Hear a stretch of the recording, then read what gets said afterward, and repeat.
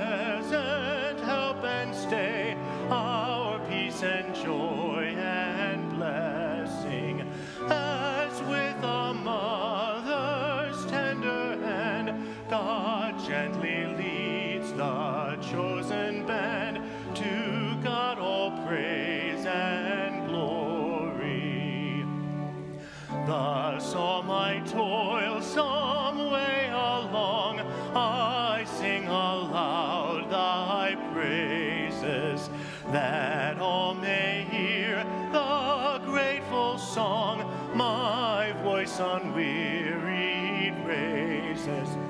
Be joyful in the Lord, my heart, both soul and body. Take your part. To God all praise and glory.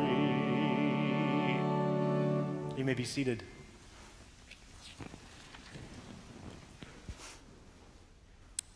Let us have confidence to approach God where there is grace and mercy.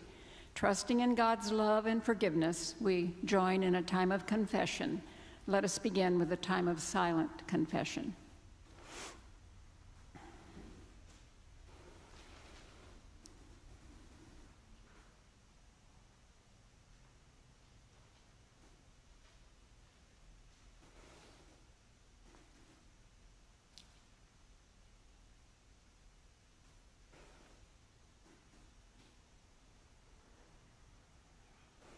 And now, praying responsively.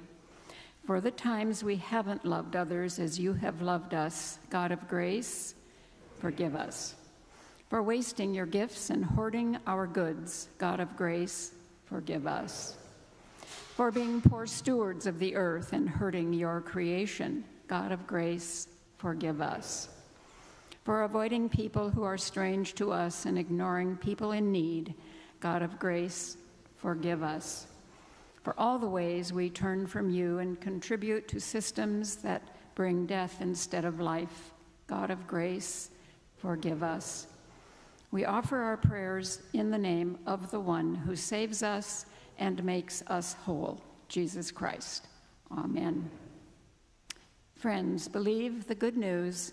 In Jesus Christ we are forgiven. Thanks be to, be God. to God. Amen. Amen. Please rise in body or in spirit as we sing.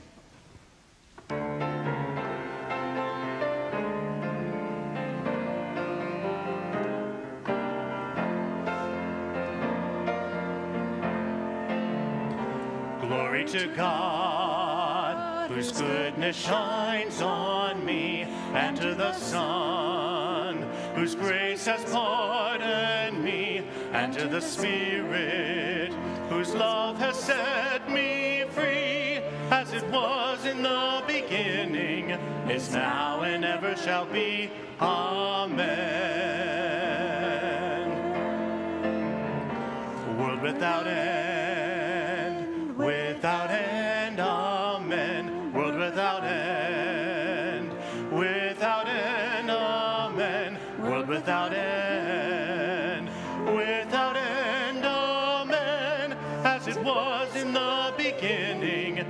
now and ever shall be.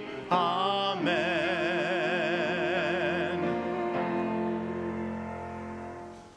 Having received God's forgiveness and peace, let us share that peace with everyone we meet, beginning here and now. The peace of Christ be with you. Please share the peace of Christ with a word or a wave.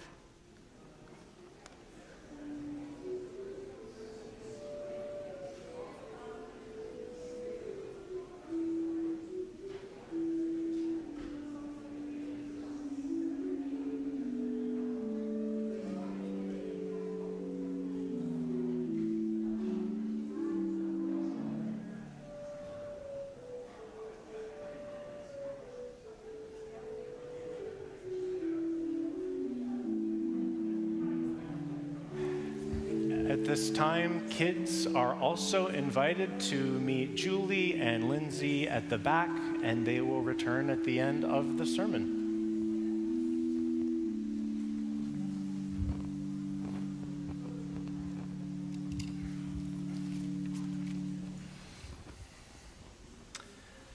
Let us pray. God, you are the beginning and the end of all things, the first and the last. Send your Holy Spirit to open our minds and hearts to your truth so that we may find new beginnings in your word and in living out your purposes, our ultimate end. Amen. Our text today will be from a number of Psalms, but we begin with Psalm 1 at the beginning of the book. Listen for the word of the Lord. Happy are those who do not follow the advice of the wicked, or take the path that sinners tread, or sit in the seat of scoffers, but their delight is in the law of the Lord. And on his law they meditate day and night. They are like trees planted by streams of water, which yield their fruit in its season, and their leaves do not wither. In all that they do, they prosper. The wicked are not so, but are like the chaff that the wind drives away. Therefore, the wicked will not stand in the judgment, nor sinners in the congregation of the righteous. For the Lord watches over the way of the righteous, but the way of the wicked will perish. This is the word of the Lord. Thanks be to God. So, here in the first psalm, we are contrasting two ways of being righteousness or wickedness, justice or evil, life or death. It's all very clear cut and well defined. The lives of people who are faithful to God are marked by happiness as opposed to perishing, life abundant as opposed to destruction. And what's at the center? Flourishing to achieve what we want to achieve and to accomplish what we want to accomplish. How many of us want that for ourselves, for our children and our grandchildren, and for folks who are important to us? We don't want to see our families hit hard times or our businesses come to ruin. We don't want to see tragedies in our schools and seemingly inescapable violence. We don't want to lose faith in our public servants or in our worshiping communities. We want these important parts of our lives to flourish, to be rich and meaningful and expansive over time. And God wants this for us too. In John's epistle, the writer prays that we may prosper and be in good health, just as our souls prosper. Jesus said, I have come that they may have life and have it to the full. Psalm 1 presents a pretty clear path for that to take place. Psalm 1 is about this personal mode of conduct that brings flourishing. And when worked together, it may flow out in a shared framework through which entire groups of people thrive. But is it reality? Was it reality for ancient Israel when these Psalms were written? No. Is it reality for us in our world every day? Certainly not. This first psalm sets up an ideal that is both simple and improbable. Is it any wonder that soon after this psalm, the laments begin piling up? People praying, God, where are you? Psalm 3, O Lord, how many are my foes? Many are rising up against me. Psalm 4, answer me when I call, O God of my right.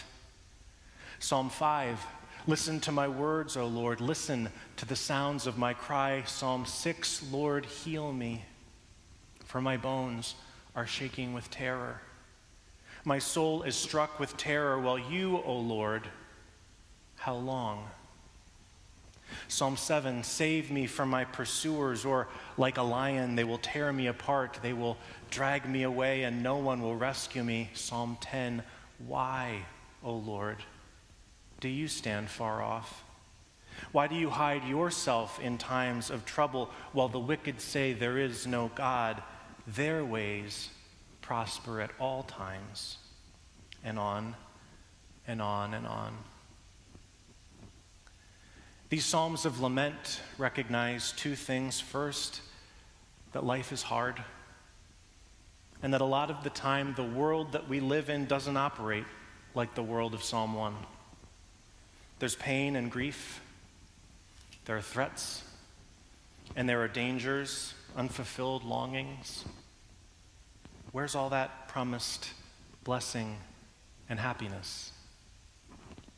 The second thing that laments recognize is the way to deal with pain and fear and doubt and grief is to tell the truth about it.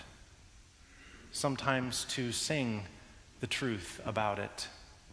This is one of the differences between the righteous and the wicked in the world of the scriptures. The righteous aren't righteous because they're perfect or sinless. The righteous are considered righteous because they tell the truth of their lives to God and to others. And since laments at their core tell the truth, they too, in a mysterious way, are part of that Psalm 1 world of blessedness, even though the circumstances they describe are far from happy. And then there are Psalms to reassure us, to remind us that God is present with us in the hard times, guard, guiding our lives to something meaningful. The psalmist sings, The Lord is my shepherd, I shall not want. He maketh me to lie down in green pastures. He leadeth me beside the still waters. He restoreth my soul. He leadeth me in the paths of righteousness for his name's sake. Yea, though I walk through the valley of the shadow of death, I will fear no evil, for thou art with me. Thy rod and thy staff, they comfort me. Thou preparest a table before me in the presence of mine enemies. Thou anointest my head with oil, my cup overflows. Surely goodness and mercy shall follow me all the days of my life, and I will dwell in the house of the Lord forever. These are good words, healing words, hopeful words. And yet, in the times of our lives when we've moved out from the green pastures, and the still waters. In the times when we find ourselves in the center of death's shadowy valley, still so far off from the promises of lavish tables and anointing oil and cups running over it, can lead to a crisis of faith. A crisis when black folks are murdered while shopping. A crisis when Taiwanese siblings in faith are killed over lunch after worship. A crisis when young lives are ended in terror and confusion and pain. A crisis. When I'm writing this on a Wednesday, wondering what's even worse will happen by Sunday, such that the things that are breaking my heart today will no longer be as meaningful by tomorrow a crisis. One of my favorite books on the Psalms is Mark Futato's Transformed by Praise. I'm drawing a lot of, from his thinking today and what I have to share. He notices something in Psalm 73, about halfway through the book of 150 Psalms. He notices that the composer of Psalm 73 is having a crisis of faith too. And in a way, this faith crisis is the crux of the book of Psalms. We move from the clear cut world of Psalm 1, traveling through the laments and the cries for help. We hear the Psalms of trust and reassurance that everything will be okay. But by Psalm 73, the writer says, Enough. I've had it. I've looked around and I've seen how things really work in the world. It's the wicked that flourish and the righteous who suffer. I see how things are. The world of Psalm 1 just isn't so. But then, over the course of the psalm, there is a shift in the heart of the psalmist. Going to sing a simple setting of Psalm 73. You're welcome to listen or join in as you catch on, but here's the invitation watch for the shift in what's going on with the psalmist as we listen to the heart of Psalm 73.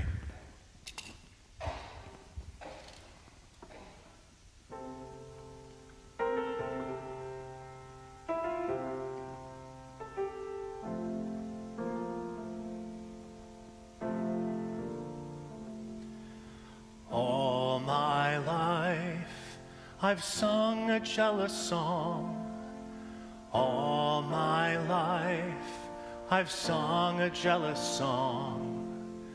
All my life I've sung a jealous song.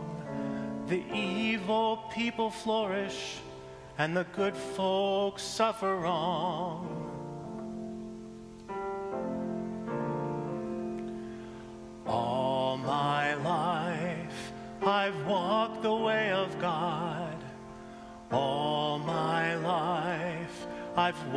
The way of God. All my life I've walked the way of God. But walking got me nowhere, and I thought it never would.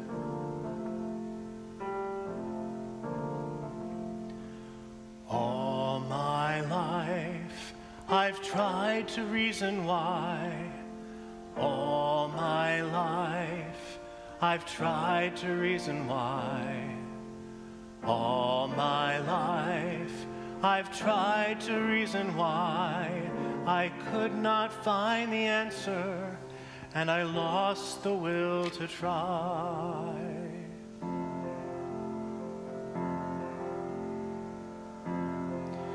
You draw me near to you, O God.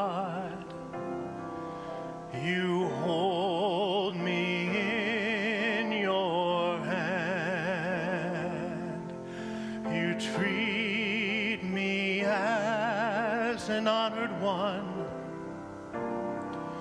with your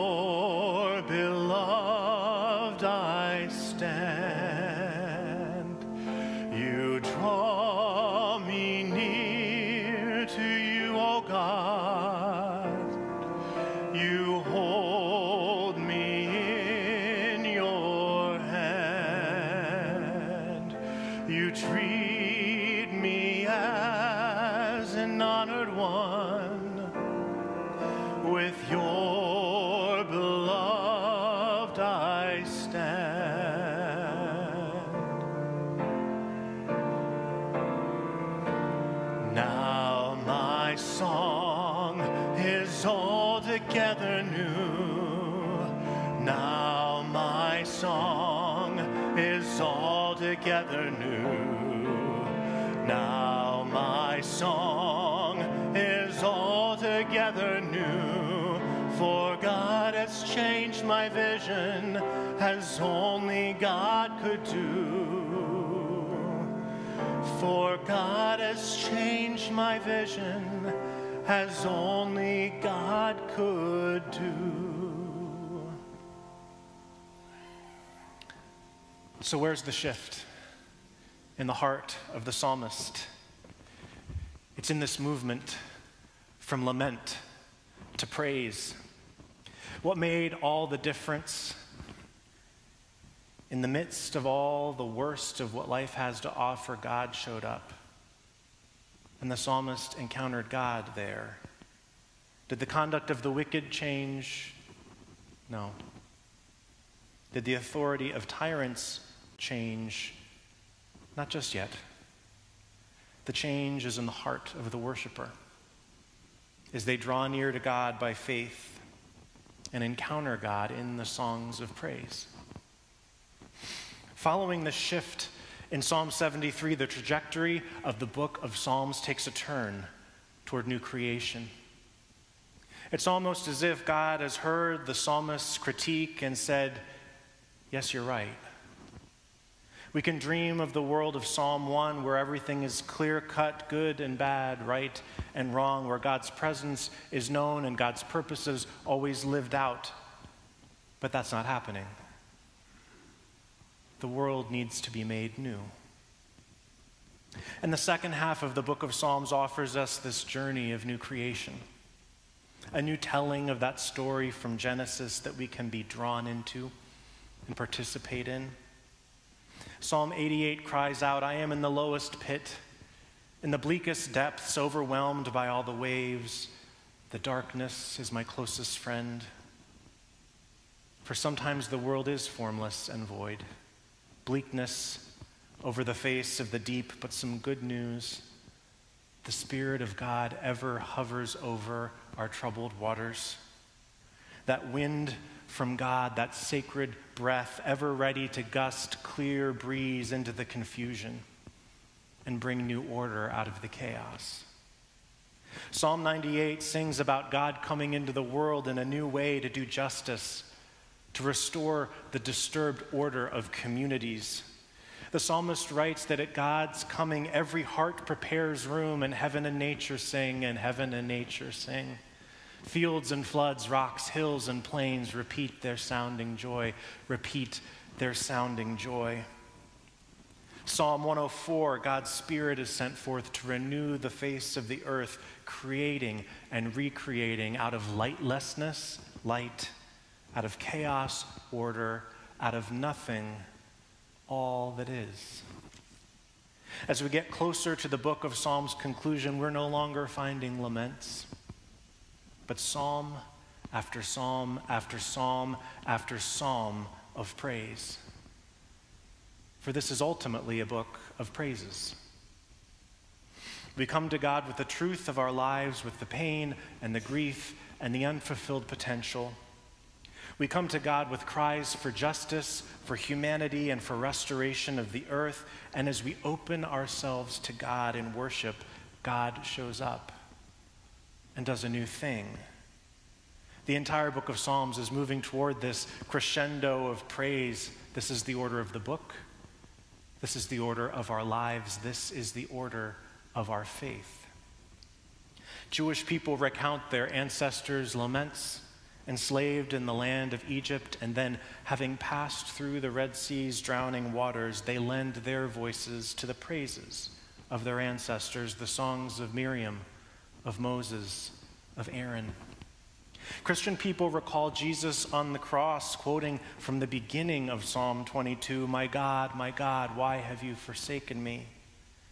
In Christ's resurrection, he might as well be quoting the end of that same psalm that says, I will proclaim your name to my people. In the congregation, I will sing your praise. I think the ordering of the book of Psalms holds a promise of God for us that sorrow lasts for a night, but joy comes in the morning. That the world is not as it should be, but God is ever on the move through you and through me as we love and serve unto Christ, making all things new. Where will this love take you today? To what service is God calling you?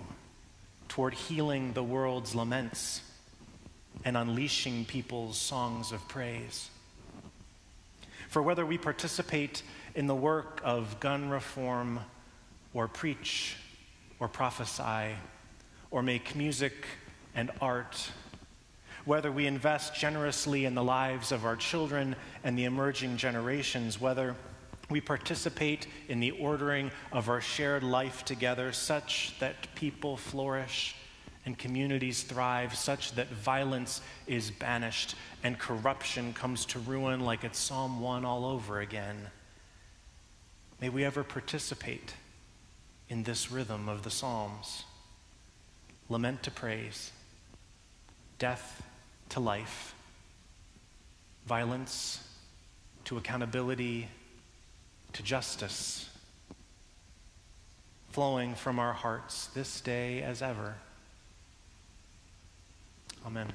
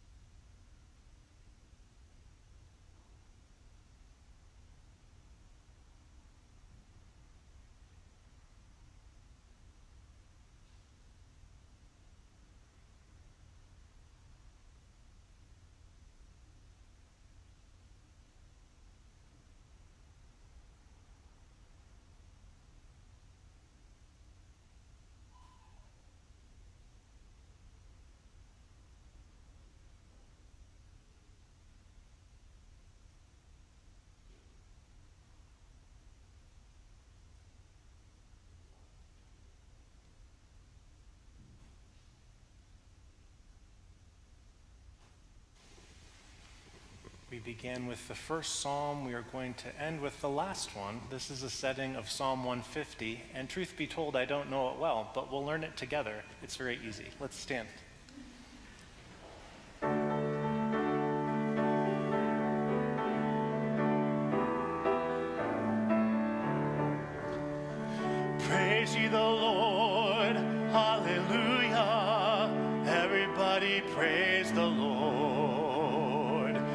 Praise the Lord. Hallelujah. Everybody praise the Lord. Praise God with the sound of the trumpet. Praise God with the lute and harp.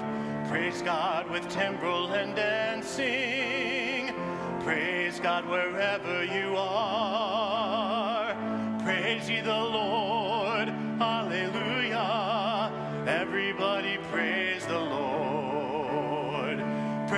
the Lord.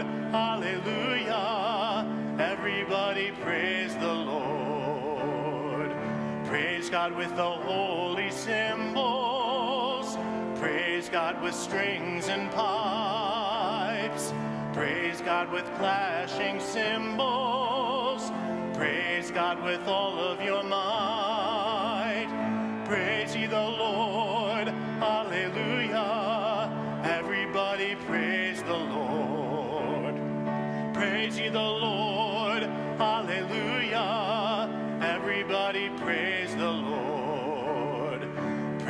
God in the holy temple.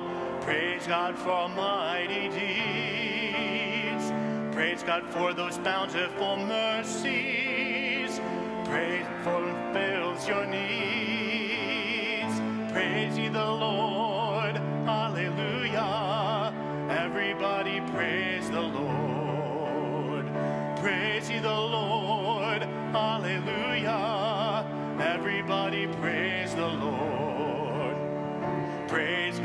Top of the mountain. Praise God both day and night. Praise God down in the valleys. Praise God who's making things right.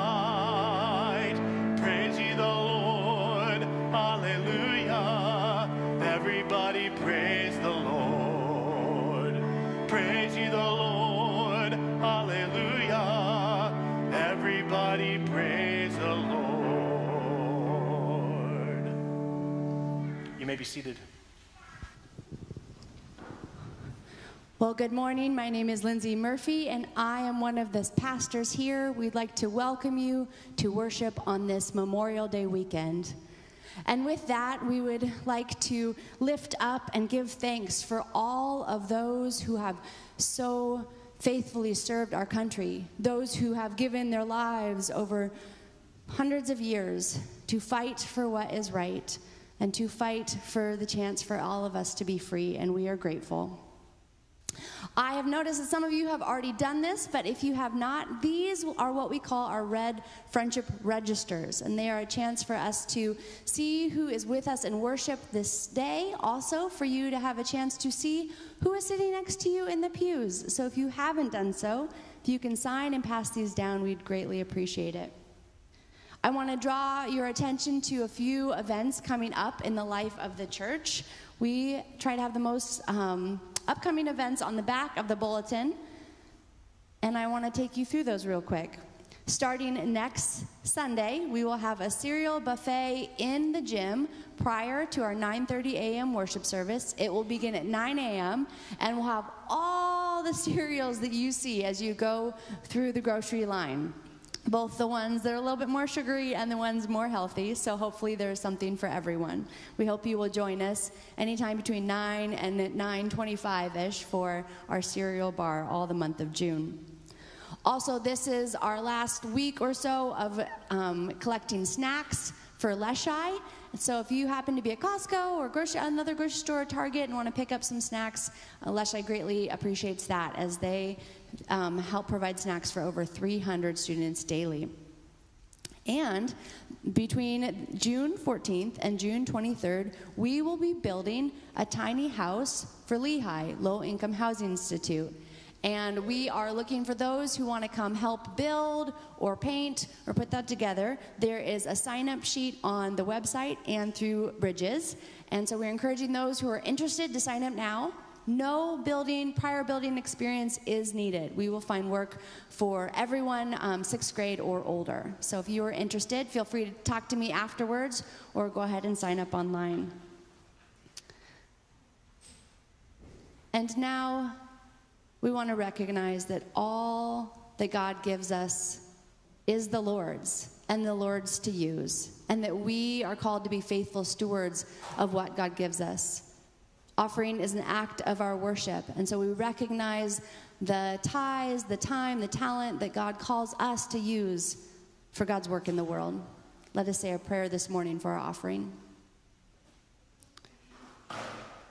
Lord, we thank you for your generosity, for the ways that you care for us, for the ways that you desire that each one of your children will be taken care of. Lord, sometimes it feels like the need is overwhelming, but we know there is also an abundance if we will share. Show us how to be good stewards of all that you have given us. And thank you for the offering that we can give to your church for the, your ministry in the world. Amen.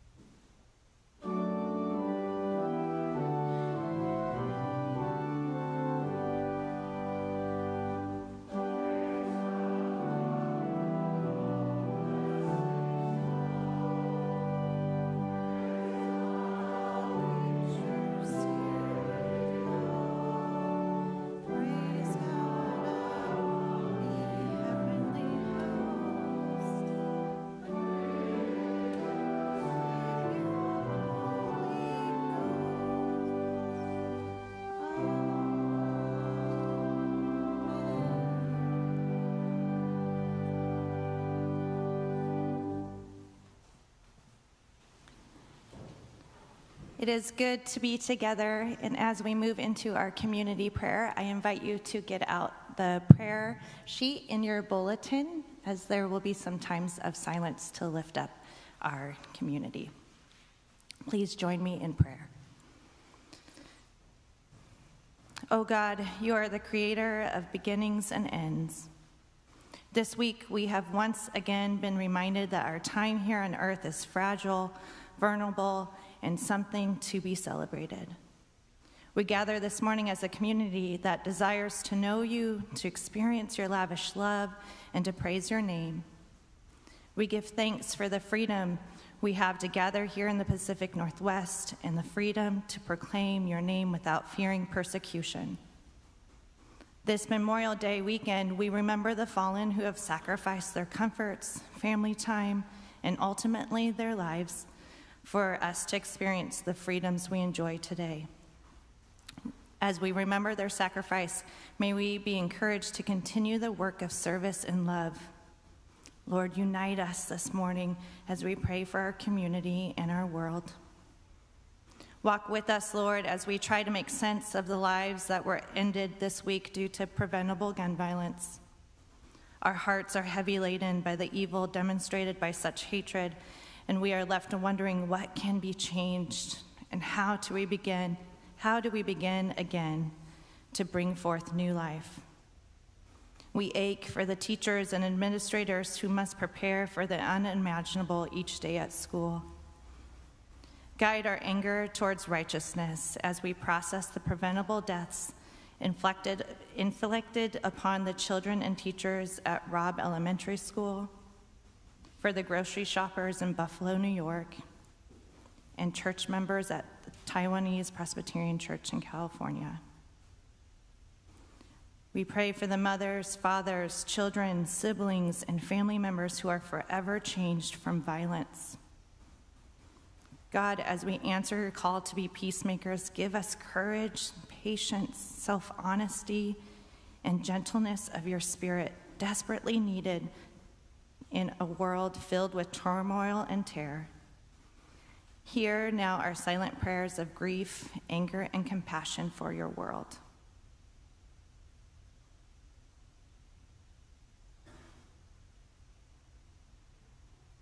God, in your grace, hear our prayer. During weeks where there is so much sorrow and worry, we become sensitive to the tension between life and death. This tension helps remind us that life in Christ holds us in hope, knowing that death does not have the final say. So we lean into hope and celebrate, celebrate with those who are graduating from college and high school as they discern what is next, may we be reminded, may they be reminded that self worth does not come from a degree or accomplishments, but instead, may they be filled with the confidence of your love. For students who are still finishing up the school year, we pray that those who are struggling to complete assignments and tests renew their hope and provide, are provided the encouragement needed to press on.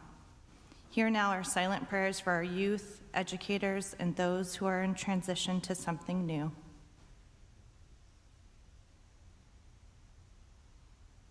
God, in your grace, hear our prayers. We also pray for our beloved ones who are sick, living in chronic pain, those living with a new diagnosis, those living with cancer, those waiting for surgery, or who are in recovery. We ask that you grant comfort and peace to them.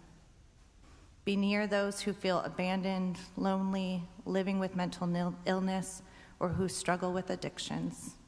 Hear now the prayers for our family and friends who need healing.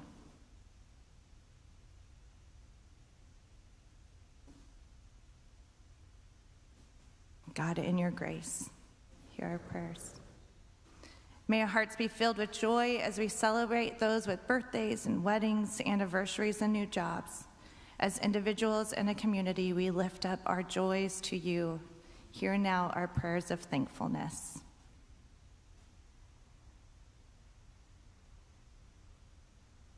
God, in your grace, hear our prayers. Lord, it is our desire to walk in your ways and keep from foolish compromise. Keep our hearts set on Jesus Christ so that our thoughts are not influenced by the mindset of this current age. May we be like the man planted by your many rivers of grace and love, joy and peace. May your mercy and compassion flow through us in the places where you have planted us. And now draw our hearts into deeper relationship with you as we pray the prayer you taught your disciples, praying Our Father, who art in heaven Hallowed be thy name. Thy kingdom come, thy will be done, on earth as it is in heaven. Give us this day our daily bread, and forgive us our debts as we forgive our debtors. And lead us not into temptation, but deliver us from evil. For thine is the kingdom, and the power, and the glory forever. Amen.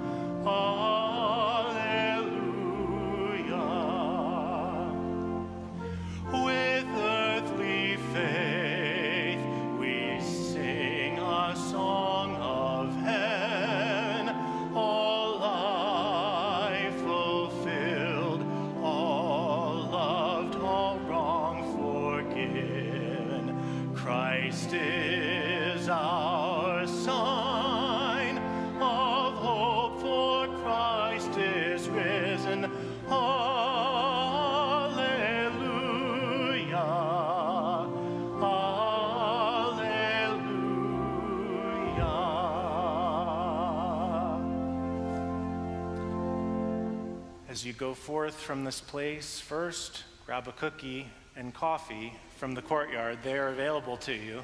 And then, as you go forth from this place, go telling the truth of your lives, the truth of our nation, the truth of our world to God and to others, so that in all we do, we may love and serve Christ and ever be a part of the new creation that God has set in motion, making all things new, turning laments to praise. And as you do so, know that God is with you, our Creator, our Redeemer, our Sustainer. God blesses you and will be with you. Amen.